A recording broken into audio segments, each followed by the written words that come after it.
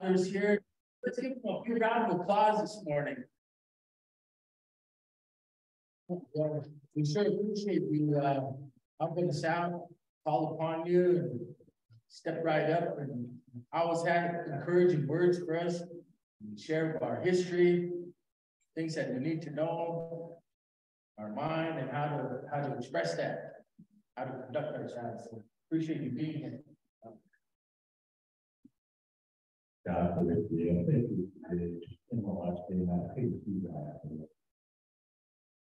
I am. I have to come here today with a heavy heart. I got word uh, this morning. My niece had passed away. I had a twin brother. His name was Ted Means. He was a good singer sang for verse, medicine man ceremony, powwow. And uh, it's his daughter. Like I said, my twin brother. But you feel things when you have a twin that other people don't feel. So I, I kind of hesitated. I said, well, maybe I'm supposed to stay out of public or but uh, I want to come to support you all, and especially my brother. China. Because I know how long he's been working on this. I know I've seen him all, he used to work for the tribe. He worked for the tribe for several years trying to bring about this very thing here. But he's not do to the field or He's a person like Vivekananda. You know that he's sincere because he started with nothing.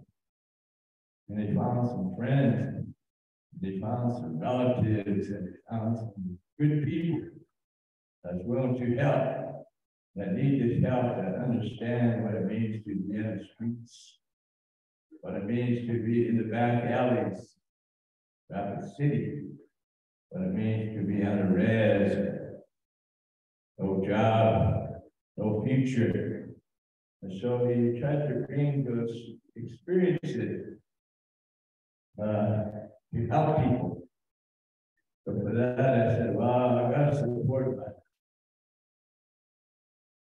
my, little brother, man, because you're doing something that we haven't seen in Rapid City for long, long, long. I remember how I got uh, involved with this movement of sobriety. I had a friend uh, who had a American movement chapter in Milwaukee, Wisconsin. And he brought a, a, a request to AIM. He said, You guys want to be leaders? You want to be representatives of the issues of Indian country? You want to speak for the people? You should do it so. Was at that time, it was uh, 1968. And this movement was just getting started. Movement to be able to use our ceremonies and our ways. To try to help us. So he was one of the early ones, his name was Drew Collins. Nobody try to remember, you had a group, and uh, they started over that way. I know we had it over here too, in Rapid City and other places. That movement to use our ceremony, but it took all this time, seemed like, to have the non-Indian community, the medical community, the treatment community, you take it seriously. You see the result of what happens when you're to use your own ways, use what, what was given to us by the Creator. And uh, AA is good. A lot of people have used that to take care of their families, to sober up. But this way here using our ceremonial ways is uh, not new. But yet, it's starting to be recognized after all these years. And it's programs like this that continue to build that reputation, that character for people. that- And, uh, so my idea was to come to give you some history of these treaty of human rights. Self-determination. I think the most important part is like Mr. Starr comes out. He's trying to do is what they call self-determination, which means that we do for ourselves. So that's why this program is so important. It epitomizes or it is the best example self-determination. We help our own.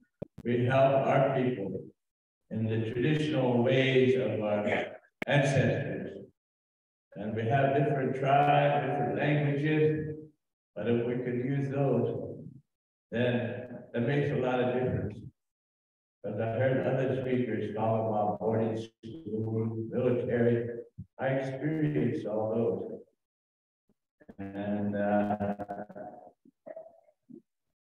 so I wanted to be able to come to talk a little bit about the larger world because we have what's called the indigenous people. That's the Indian people around the world. They still know their language. They still have their ceremonial ways. They still have their territory, whether they're reservation, whether the jungle, islands. They all have their ways. In my travels. But I had some good teachers. But I started out, I didn't know nothing. United Nations, it was a whole different world. I'm, I'm raised around Pine Ridge and Rosebud area. And so I never experienced the outside world other than the army. And uh, I went to Vietnam. and That's a whole other world there. But anyway, I wanted to. And um, I went to State. I met different people up there. And I had this uh, elder. He wasn't even somewhere. He gave me a book that maybe all of you know about. If you don't, at least you maybe you can buy it down here at the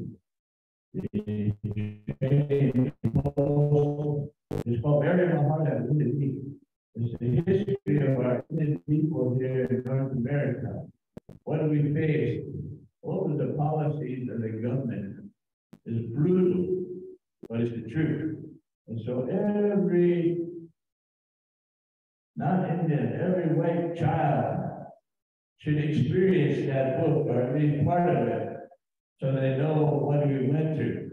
And then our families also, we know why we're still here, I was strong, why we maintain our way of life. It's through that book you can hear about it.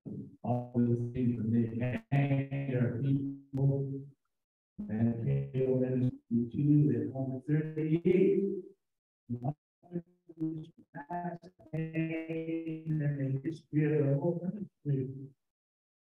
Poland. Because they land, they had a treaty with the United States government. And so we do pity for all these great chiefs that we have. They talk.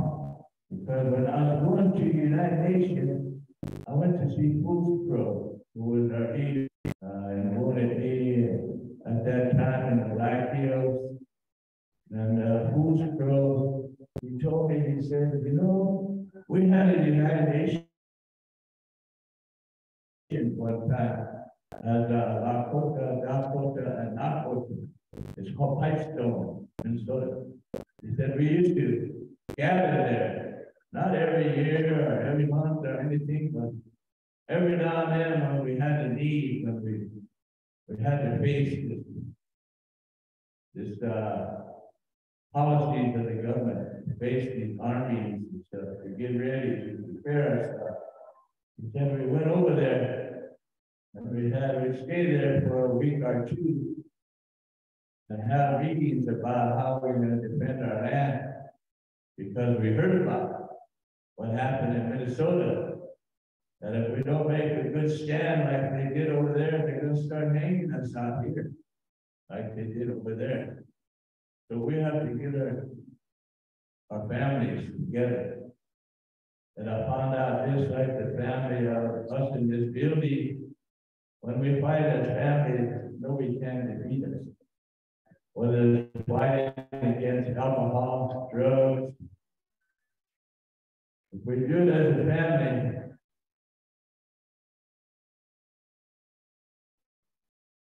we're, uh, and so Fools Crow told me that story. He said, when you go over there, he said, use that treaty. He said, we're gonna send it to the United Nations. And when you get there, stick that treaty in the door. Of course, he meant that, you know, in the- way of a story, he said, stick it in the door because that proves that we're there, because treaties are signed nation to nation. They're not signed by main organizations or tribes or, or uh, labor unions or. They're signed between nations. So we put that in there and that's gonna be your, your, open the door for you. So it took us three years, we went nineteen seventy-four. And nineteen seventy-seven, we got recognized. Well, we got our. Got good by the tourists for the tourists go. But after the, we got our recognition in nineteen seventy-seven. We walked in. We had a badge, just like the government of the world. And we walked in there and we could, we could meet other people, other struggles around the world that were fighting for the liberation of, for the. There's a lot of governments like England, United States, uh, in France, Germany, all the big countries, they all had colonies, they call them. They all had territory they took over. Because the Catholic Church them was, they had the right to do that, do what they call a papal bull. But you don't hear that when you go to church that Holy Rosary, or maybe down to St. Francis. They don't tell you that history, just like the Americans. They don't tell us the history of the United States when we went to school. We have to learn it on our own, or through our families. And so Fools taught me a great lesson. You know, and I remember in one day, uh, they told us to give up our arms, to, to, uh, stop fighting. And we lost three people there. We lost, uh, Buddy Lamont. He was killed there, and another man by the name of Frank Clearwater. And one of the, my great friends, the history of our, our movement, his name was Pete Joseph Smith. He was head of the Oglala Sioux Civil Rights Organization, which asked us, being other Oglalas who belong to the American Indian movement. He asked us to come there because they didn't have no rights in Pine Ridge. They were using uh, scare tactics. They used their own police force. Police force was made up with friends of the tribal government. And they would send them on people that was against some of the policies of the tribe. And so it got, got violent. Because remember, these were different times in the sixties, seventies. Everybody was protesting, all races, whether it was uh, Hasapas, the, uh, the African Americans, you know, the Chicanos, uh, they all had to fight for their rights, and so as Indian people, we were joined in that. We met a lot of those people. But, uh, So when he came inside Wounded um, we admired him so much. He didn't tell us to lay down your arms, let the BIA take over. Uh, let's give up. He said, basically, when he was leaving, he talked to everybody. We had a negotiating committee. He said, for each year, to, to be brave. That's what he told us. He didn't say give up. He didn't say let out your arms. He said, each year. That was his word of encouragement. Be brave, he knew we had a battle. So that's how we lost those people. But he also came in when we lost those people, Pedro and, and uh, Buddy and Frank Clearwater came in, he said, that's enough. He said, you young people, you take what you learned here in Wounded Knee, you take it home. Whether it's the sweat lodge, because them days, they, they didn't have too many sweat lodges around the country, nineteen seventies. Maybe a few, but they were traditional people who kind of kept it over here on the side. Sometimes they have to get permission from Father Steinmetz over at Holy Rosary to have a sweat or to have a sundance. He used to run the sundance at Pine Ridge. Some of you might remember that. He gave the bouquet, he couldn't pierce. You could only put a safety pin in your shirt, dance with the tree. Because Father Steinmetz said that's the way it has to be. You can't go back to the original. But nowadays, you're going to hear from Mr. Two Dog later. He's going to tell you about some of those things that we had to struggle for. I remember during the time they asked Crow Dog to come to to Wounded Knee to start a Sundance.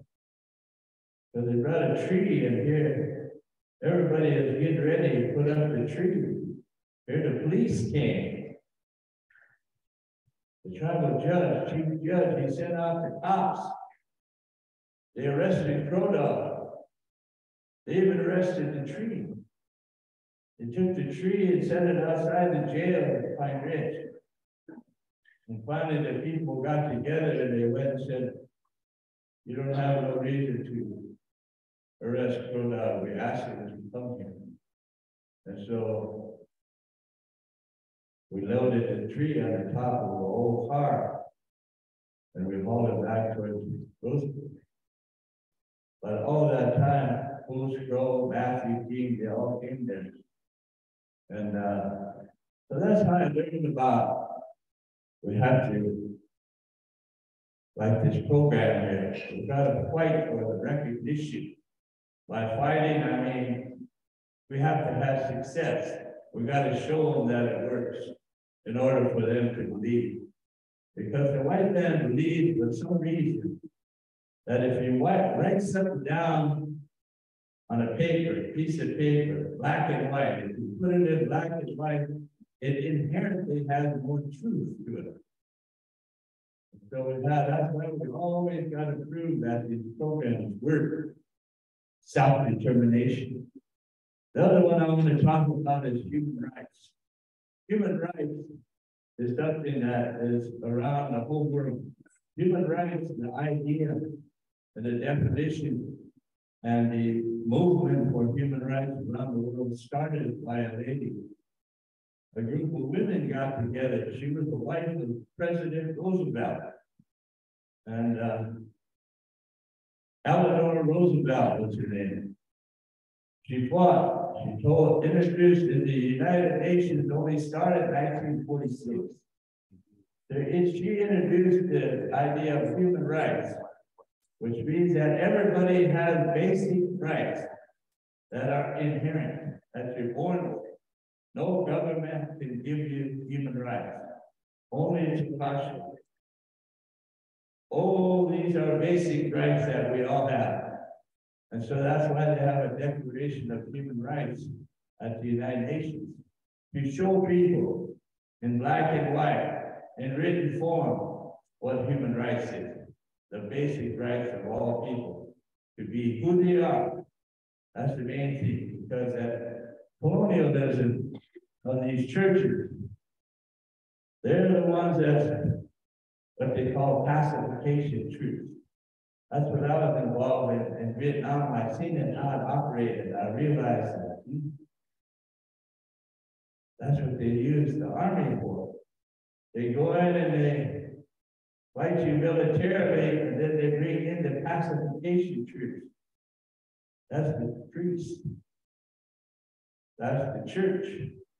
Not because they're bad people, but because their mission, their job is to convert, to take away your language, like we all heard about. You couldn't speak Indian when you went to boarding school. No, you couldn't have powwows like we have now. You couldn't have these things associated with education. They all had to be done in secret or an annual thing. For a nation. Powwow and rodeo. That's the only way we got to have a traditional ways. We had to have the priest okay everything. But uh, human rights are something that all people have a right to. So that's why we passed, took us thirty years at the United Nations working with indigenous people all over the world. That said, we have basic rights. So we put it in writing, it's called the Declaration on the Rights of Indigenous Peoples. And if you get a chance, go on our website, it's called treatycouncil.org. And you can look on there, you'll see that document on there. You'll see other documents that we presented to the United States government during our time going on various marches, occupations, things like that. We had to get the attention of the world, and we did so. And we hooked up, now it started as a little movement. Oglala Sioux Civil Rights Organization.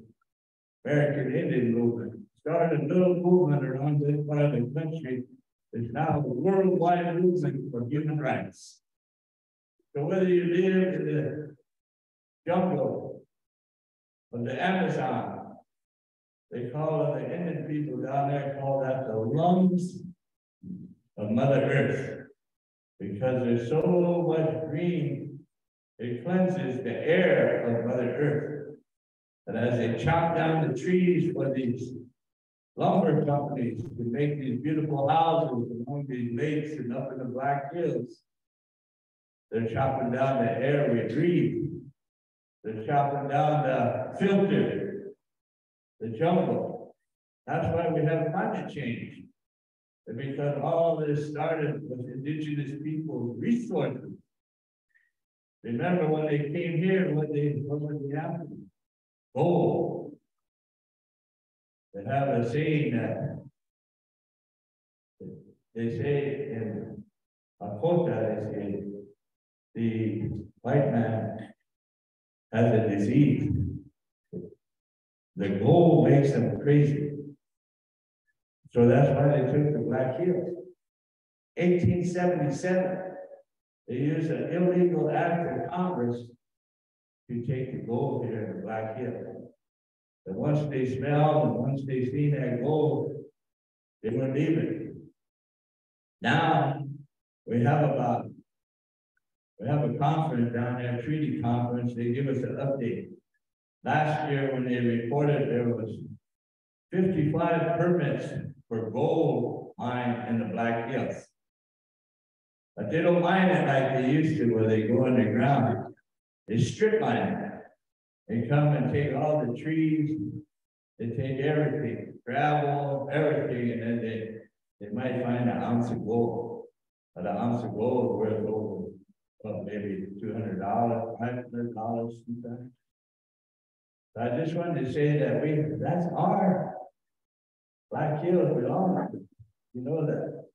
That's where we were created as a nation out of Wind Cave, you know, our creation stories, they point to the Black Hills. The Lakota elders, medicine man, they call it the heart of everything that is. That's what the Black Hills spiritually. And now after the white man found the minerals, even to them it's a special place, but it's a special place for materialism. Whereas Indian people, it's a special place for ceremonies, special place to pray, special place to have a So these are things that we understand, but we have to fight for our human rights. We have to do it through self-determination, meaning that we have to do it. Nobody's going to come, the BIA not going to come and say, here's your black hills. We're going to give it back to you. They're on the other side. It's us, people. But slowly we're making a dent because other people are beginning to understand human rights as a global standard. And now we as Indians operating at the United Nations, we begin to make a dent into their thinking that we have a right to our self-determination. We have a right to human rights. We have the right to our treaty territories. You made a agreement, you made a contract with us. Now you'll never be an honorable government until you honor the treaties you made with the American Indian. So these are the things that we bring up in these meetings. The treaties don't say they're an old document. Don't say they're not important anymore. We've got to teach our children about that. So we keep this movement going because it says right in there, black and white, like the guy to see. And we own that. So little by little, we've got to Shema up uh, there now. Sacred site, that's part of our creation story. And so now the tribe got together, they bought some of our land back. And we got criticized a lot. The tribes got together, the Mystic Lake, some of these tribes that have a lot of money from gaming. They chipped in. They came and they looked at the Black Hills, they felt that power. They felt that meaning of what it means, their creation, the wind cave. They felt that spiritual power and they, they dug in their pocket, they helped us. And our little tribes here are, we but we have the bluff we got the ceremonial ways. So those other tribes out there, they understood. This is a special place. So they helped us buy that sacred site that we have now. But we own that, 5,000 acres. In the Black Hills, we gotta, we gotta start. And eventually, you know, we get the rest. The federal land belongs to us. When might left the Washichu stay for the length of his lease or stay until his, because you know, there, there are people that came to school here and grew up here. They see all these bright lights of the city. They don't want to live here no more. There's a lot of the children of these people in the black hills. They're leaving. So there's a lot of land for sale. So before they sell it to some more white men, we've got to get in there. And so that's what we did. We're organized so far. We get a little bit back at a time. But we're also talking about leasing. We're talking about co-management. Where we can take a lot of the federal lands in the black hills and manage them ourselves. Self-determination. We don't need the white man to run all these national parks, all the forest service. They say now that um, they log so much timber out of the fields they need to stop the logging. Stop the logging because it's not going to grow back anymore if they keep it up on the present rate. So these are things we work with every day. How are we're going to take some of this back. How are we're going to use it, build a school there, build a treaty office right here in Rapid City. These are things that are in the near future. So that when land comes up for sale, we get some of our friends together around the world and say, help us get this back. Uh, whatever means necessary. That's what Malcolm X say. He was a black leader. But that's what it means. We gotta outthink it. We gotta outpray. We gotta out ceremonial them. To understand who we are, that we have this, both the spiritual power and the organizing power to get to the Black Hills. So that's the reason why you guys probably represent the hope. You represent the grassroots that it takes to make this movement to return to Black Hills powerful and big and worldwide. So you all have a job to do to help us get that back, to return to, to the original owners, to return that land for our spiritual well-being, for our cultural ways, for our language. And so uh, I want to thank you because it's kind of been a tough day for our family. I got to go back now and console my my nieces. There's three of them here. That's my brother's kids. Their sister died this morning. And so I'm not asking for no pity, but maybe if you pity and prayer is a lot different. So if you have in your heart to remember our, our family, uh, remember send your prayers. I'll let you do it. The doctor, yeah,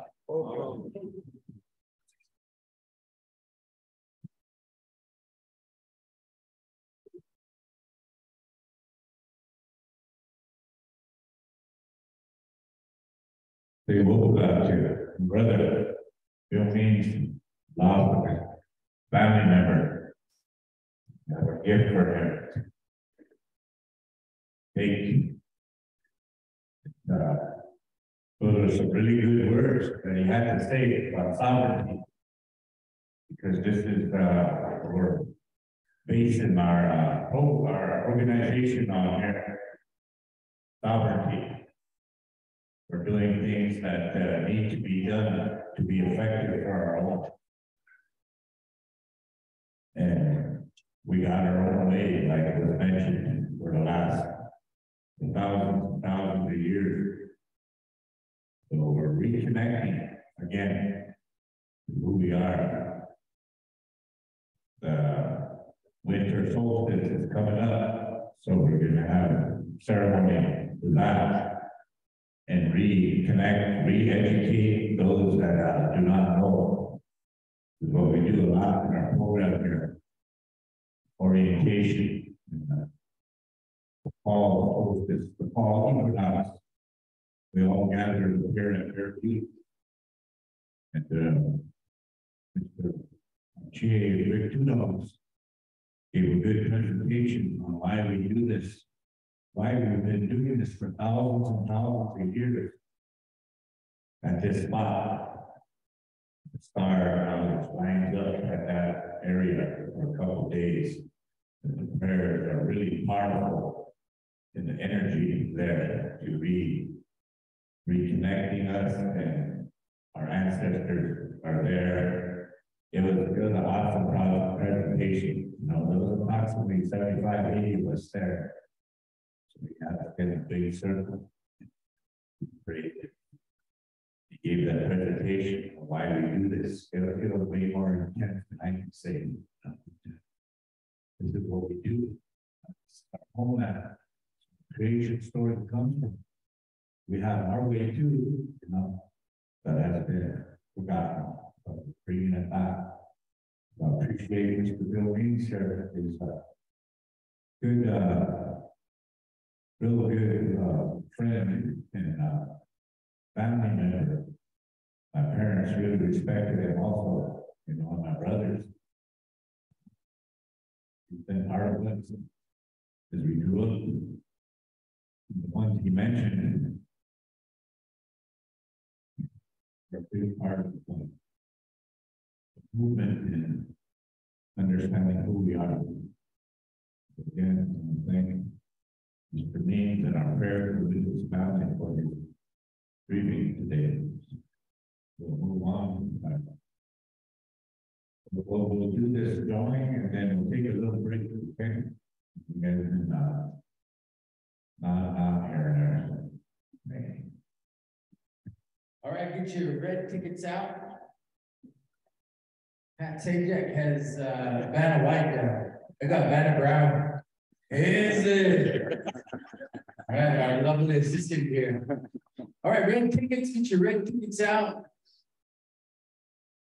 And the winning number is nine nine one three eight seven eight.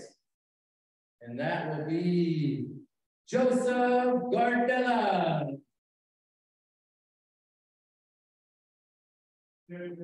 All right, Joseph, come on up here. Chicken dinner. This is a uh, brick from Duck Fast Course. There you go. All right, you're a winner now. Joseph. All right, you want a speech? I'm just joking. Go ahead, listen. All right, let's give him a big round of applause.